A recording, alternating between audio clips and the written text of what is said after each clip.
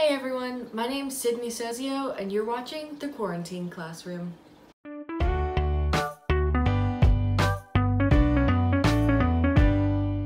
On today's episode, we're going to be talking about experiments by Nirenberg, Matthaei, and Leder.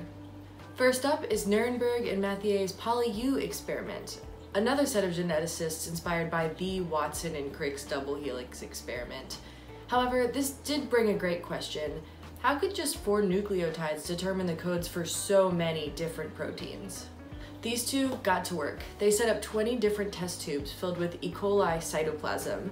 19 of them were normal, and one of them was hot with a radioactive amino acid in it. Synthetic RNA was added to the test tubes, and the radioactive test tube was checked for radioactivity. If there was a reaction between the RNA and the amino acid in the test tube, it would produce a radioactive protein. Measuring this radioactivity would tell them if there was any activity going on in the test tube. One night, Matthaei added poly-U, which is a synthetic RNA made up of only uracil, to the radioactive test tube when it had phenylalanine in it, and he noticed a reaction occurring. To put it simply, the control tubes had about 70 counts per milligram of protein after an hour, while the radioactive phenylalanine tube had 38,000 counts. That's a lot of protein. This showed that a chain of repeating uracil created a protein chain made up of only phenylalanine. Thus, UUU became the first codon ever deciphered.